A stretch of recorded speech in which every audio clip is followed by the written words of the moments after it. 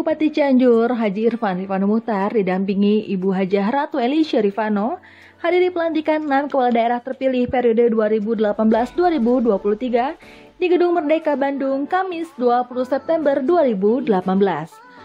Provinsi Jawa Barat hari ini memiliki 6 kepala daerah terpilih yang dilantik oleh Gubernur Jawa Barat Ridwan Kamil, Ridwan Kamil berpesan untuk para kepala daerah yang baru dilantik jadilah pemimpin yang dicintai rakyat yang melayani rakyat dengan membawa sistem yang di dalamnya penuh dengan integritas.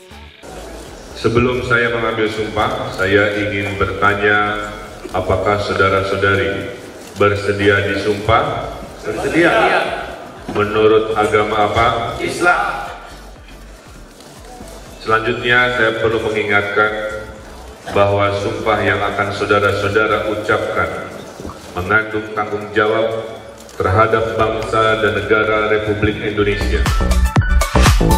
Enam kepala daerah yang baru saja dilantik di antaranya Wali Kota dan Wakil Wali Kota Bandung, Bekasi dan Sukabumi, Bupati dan Wakil Bupati Bandung Barat, Sumedang, juga Purwakarta. Para kepala daerah bersama gubernur juga Muspida Jabar melakukan historical walk dari Hotel Savoy Homan menuju Gedung Merdeka dengan menampilkan penyambutan berupa tarian tradisional Jawa Barat.